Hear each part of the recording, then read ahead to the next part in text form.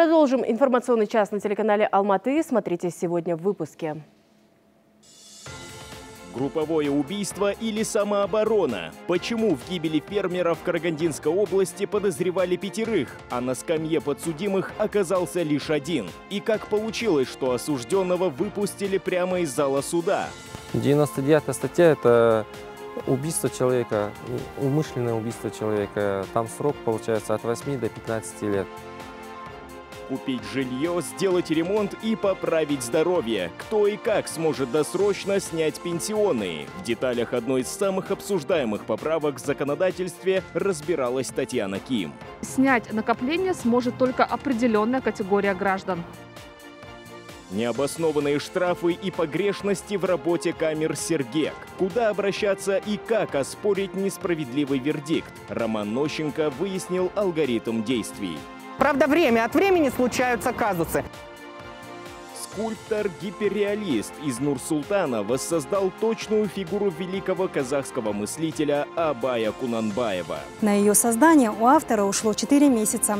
По словам Айдоса, при изготовлении он использовал силикон.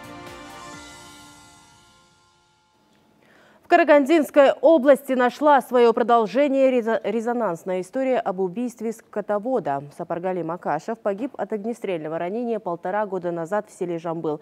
По словам родных, тогда под следствием оказался один из пятерых подозреваемых в этом преступлении. Сначала он проходил по статье убийства, но позже дело переквалифицировали на убийство при самообороне. Что позволило выпустить виновника на свободу? Версию близких погибшего, а также аргументы прокурора и судьи выслушала Мира Альжанова.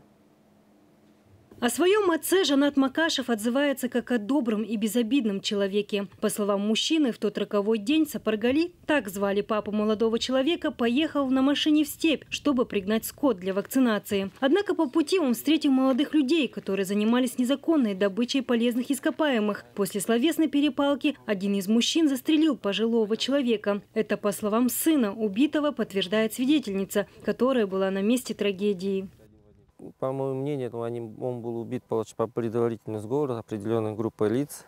Да, на нашей территории они как бы портили нашу землю, пастбище наше, проезжали через наш поселок, инфраструктуру, дороги, все это они портили.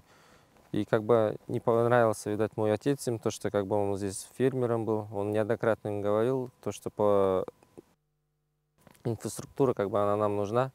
От полученных травм мужчина скончался на месте, а вот преступники скрылись, но их оперативники вычислили через два дня и задержали. Однако в суде один из подозреваемых заявил, что в отдел полиции явился добровольно и сам рассказал о совершении преступления. При этом реальный срок получил только один из пятерых подозреваемых. 99 статья – это убийство человека, умышленное убийство человека, там срок получается от 8 до 15 лет. Джексимбеков, он, получается, как бы нарушил наши права, не, не нас, то, что он переквалифицировал статью на 102. 102 статья это подразумевает то, что два года, получается, два года общего режима. И как он следствие шло так долго, год, год шло, а э, э, в изоляторе, следственном изоляторе, получается, год, а, один день за полтора считается. И на основании этого Абдукамалов, э, судья Шацкого района, выпустил его зала суда. Потерпевшая сторона с приговором не согласилась и подала апелляционную жалобу в суд. Там заявление приняли и решение отменили. Причиной послужило грубое нарушение языка судопроизводства. Все материалы уголовного дела, составленные на государственном языке, должны были быть переведены на русский язык для того, чтобы соблюсти права а, потерпевшего Макашева. Лица, которые не владеют казахским языком, были допрошены без участия переводчика например, при проведении очных ставок с участием Ускельбекова, который владеет казахским языком, значит, и э, свидетелями, которые не владеют казахским языком, переводчик не присутствовал. Из объяснений судьи следует, что подозреваемые свидетели друг друга не понимали. К тому же в документах обнаружены и грубые недочеты. Но вот прокурор утверждает, что в ходе расследования были учтены все показания свидетелей и материалы дела.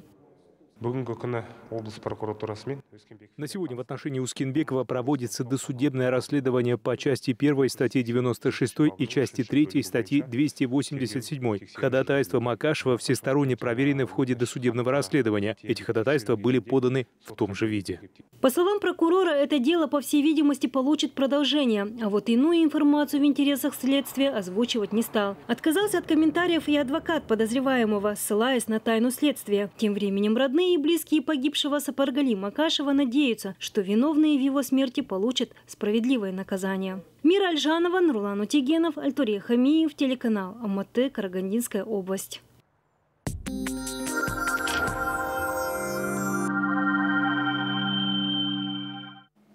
Новый всплеск заболеваемости коронавирусом зафиксирован в Казахстане. Только за сутки зарегистрировано 762 новых случая.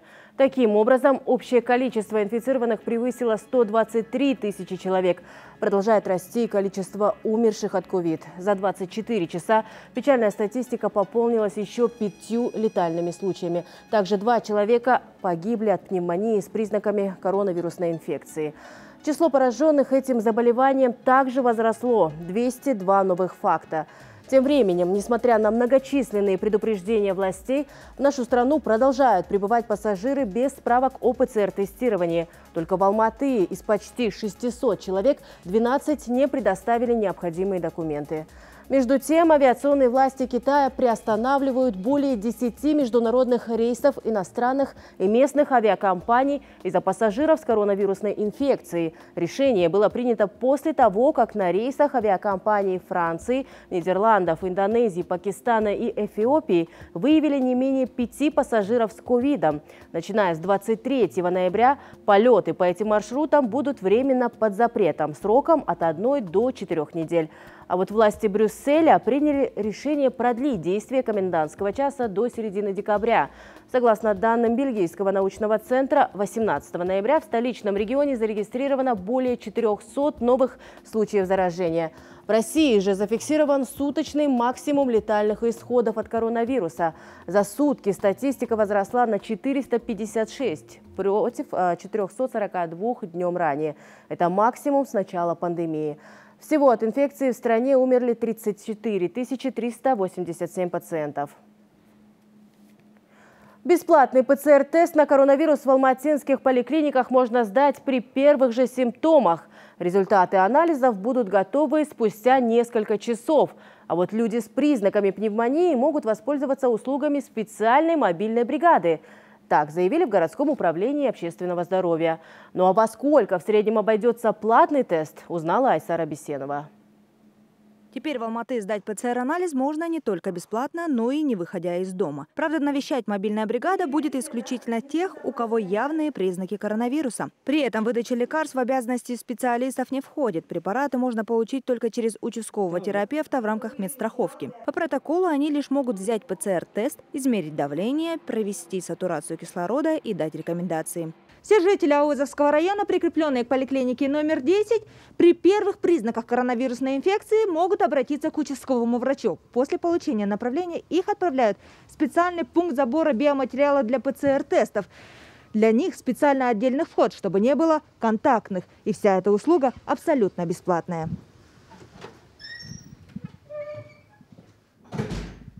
Бесплатный ПЦР-тест полагается тем, кто планово или экстренно направляется в медико-санитарное учреждение или стационар. В этом списке есть и беременные женщины. У кого бессимптомная форма, мы наблюдаем их амбулаторно э, ежедневным посещением, два раза видео э, звонком наблюдаем.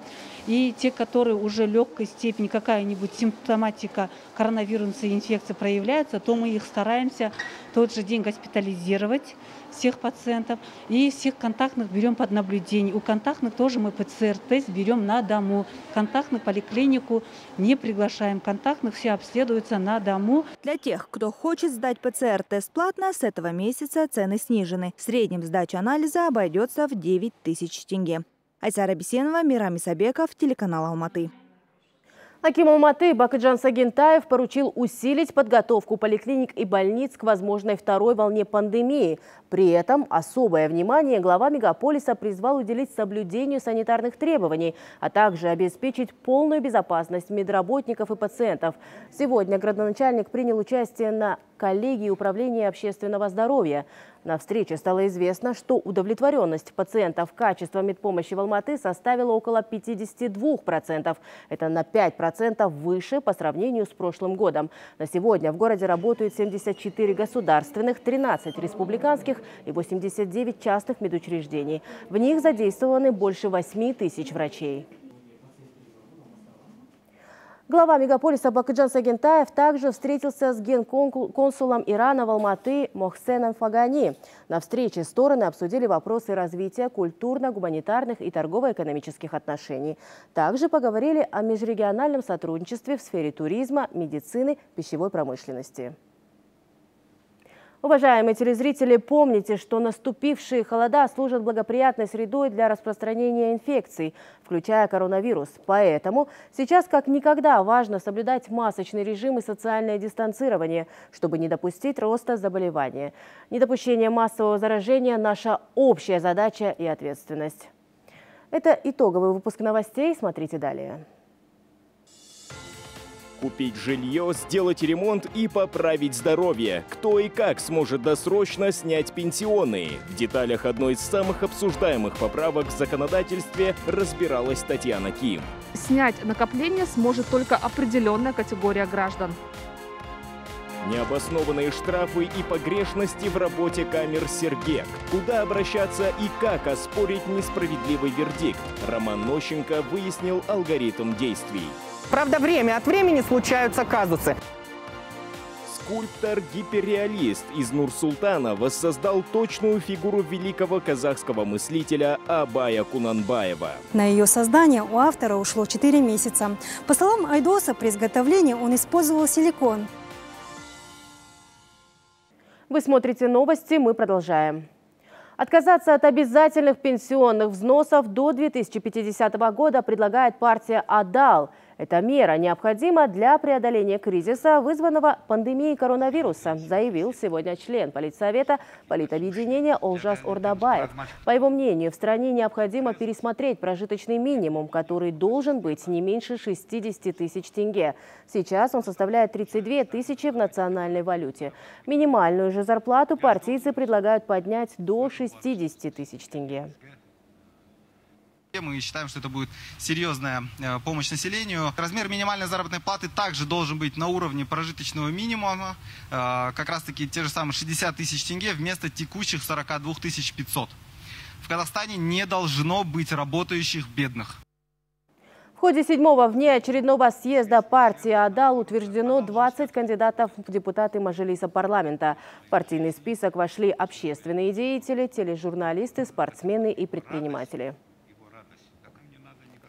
И в продолжении пенсионной темы досрочно снять накопления для того, чтобы погасить потребительские займы, казахстанцы не смогут. Об этом заявили в Минтруда и соцзащиты населения. В ведомстве напомнили, что использовать свои сбережения можно будет для оплаты за ипотеку, лечение или образование. При этом для желающих снять средства из ЕНПФ раньше времени установили порог достаточности. Сейчас проект, к которому приковано повышенное внимание, находится в разработке в Мажилисе парламента. Татьяна Ким продолжит тему. Оплатить лечение, купить жилье или закрыть ипотеку – это не полный список того, на что казахстанцы могут потратить свои пенсионные сбережения. Однако снять накопление сможет только определенная категория граждан. Алматинка Гаухар Ермухамедова ждет не дождется того дня, когда можно будет снять часть своих сбережений. За 20 лет работы она накопила порядка 4 миллионов тенге. Средства, полученные из ЕНПФ, Гаухар планирует использовать в качестве первоначалки на покупку жилья. Я работаю уже давно, и у меня скопились довольно приличная сумма пенсионных. И, конечно, я жду, когда наконец-таки можно будет подать заявку и снять часть своих накоплений, потому что я хочу их потратить на покупку жилья. Позволить жителям страны забрать накопленные годами деньги в накопительном фонде для личных нужд президент предложил еще в сентябре этого года. При этом всех вкладчиков поделили на несколько категорий, а для каждой из них установили так называемый порог достаточности. Это несгораемая сумма, которая должна всегда оставаться на счету.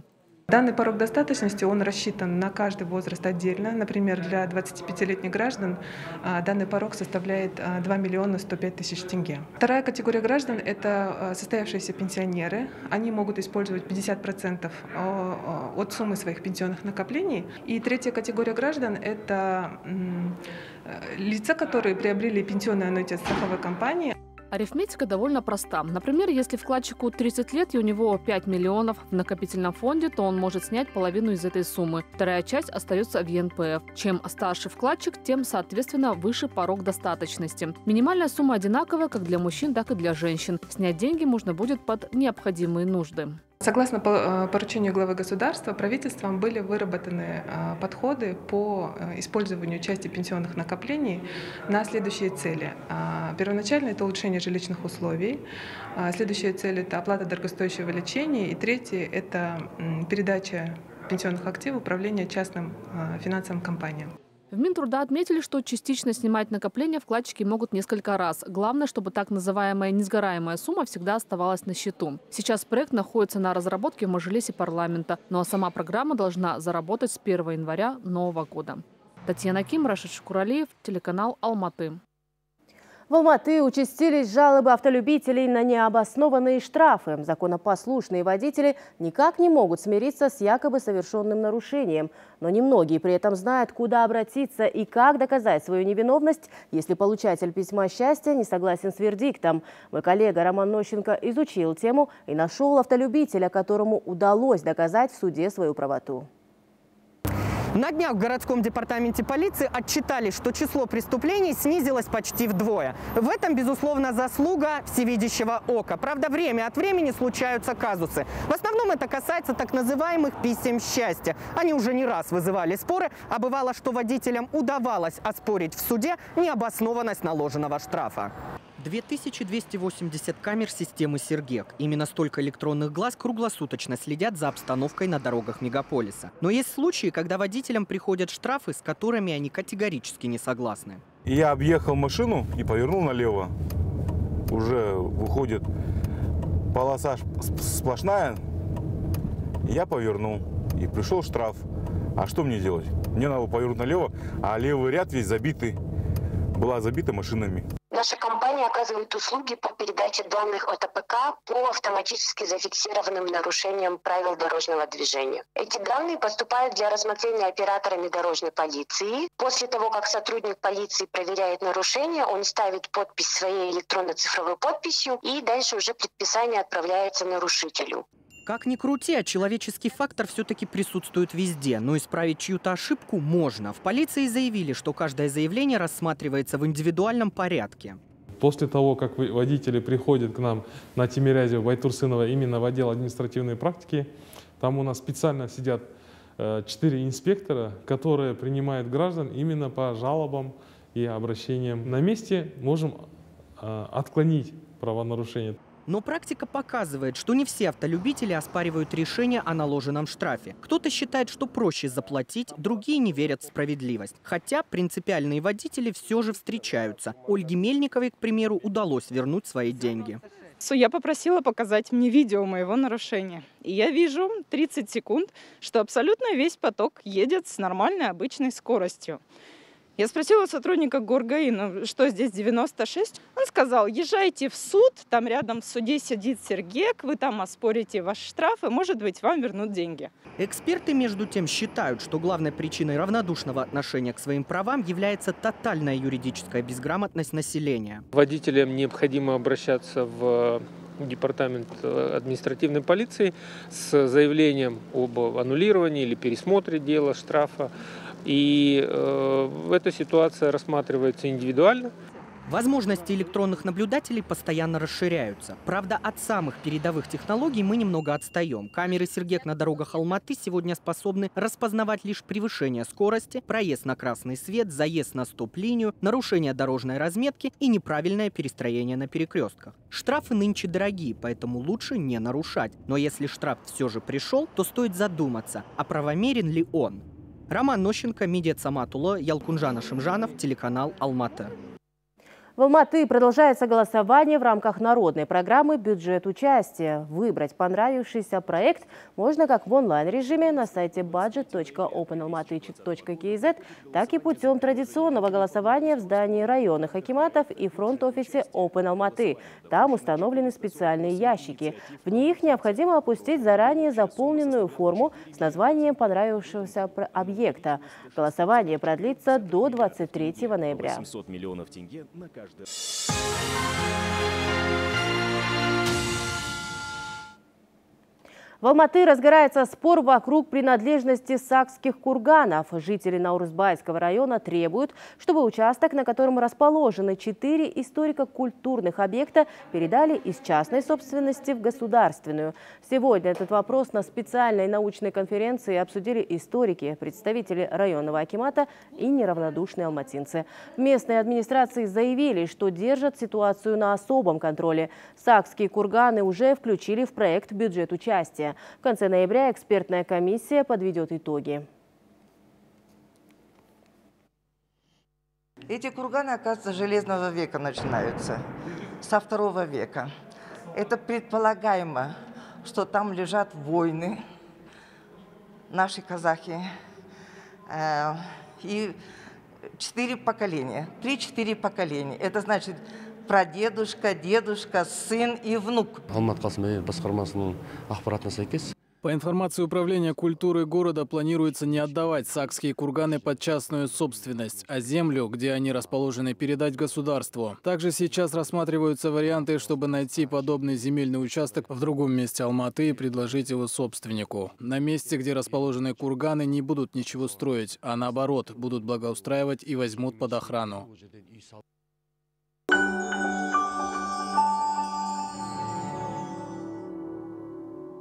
Столичный скульптор воссоздал внешность Абая в честь 175-летия великого мыслителя. Скульптура известного поэта, которая правдоподобно и выразительно передает его образ, автор сделал из пластика, силикона и настоящих волос. Сейчас статуя хранится в Центральном концертном зале «Казахстан». Одной из первых уникальную работу молодого таланта оценила Мира Альжанова. Рисовать портреты и картины Айдос Исмагамбетов начал еще в раннем детстве. Он родился и вырос в семье художников. Скульптор окончил Аркалыкский пединститут по специальности изобразительное искусство. Вот уже 10 лет молодой человек занимается гиперреализмом, созданием скульптурных фигур. В Америке там, то, что у них э, мадам Тюсо э, вот, музей, э, появился восковая фигура там Барака Обамы там, и, и других звезд. И все время как бы смотришь, э, почему, бы, э, почему у них как бы искусство на высшем уровне. А вроде в одном планете живем, почему мы не, не создаем такие, почему мы не, не занимаемся такими и видами, и искусствами. Э, вот так себя вот, мотивировал, цель поставил, то, что я тоже так сделаю. Своей цели скульптор добился после долгого и самостоятельного изучения технологий создания культур. В его копилке статуи Аблайхана, 44-го президента США Барака Обамы, а также он трижды создавал образ Ельбасы. А вот к 175-летию Абая Айдос посчитал своим долгом изготовить фигуру казахского поэта и мыслителя всех времен. Эта скульптура великого Абая расположена в фойе Центрального концертного зала «Казахстан». На ее создание у автора ушло 4 месяца. По словам Айдоса, при изготовлении он использовал силикон, а за основу взял единственную сохранившуюся фотографию поэта. По словам Айдоса, процесс изготовления скульптуры – это очень кропотливый и требующий терпения и усидчивости труд. Нередко создание одной фигуры длится до года, а вот материалы приходится заказывать за границей. Материалы у меня силикон, э, специально для таких скульптур предназначены. Э, силиконовые материалы и пластики, то чтобы там а, внутри силикона, чтобы это как каркас-держатель.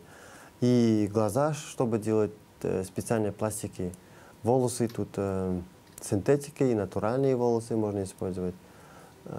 Тут разные цвета смешиваете. Силикон, это, к сожалению, такие материалы не продаются у нас в Казахстане. Это э, брендовые компании там с Америки э, заказывают, через дистрибьютор заказывают. В будущем Айдос Исмагамбетов мечтает открыть школу для обучения молодого поколения гиперреализму и вывести данный вид искусства на новый уровень. В его планах также запустить музей скульптур в Казахстане. Мира Альжанова, Дания Ромар, Альтурия Хамиев, телеканал Алматы, Нурсултан. Уважаемые телезрители, напоминаем вам о важности соблюдения масочного режима и социального дистанцирования. При помощи простых рекомендаций врачей мы сможем обезопасить себя и свое окружение от вероятного заражения коронавирусом. Я, Дина Жанабекова, благодарю вас за внимание. Всего доброго и берегите себя.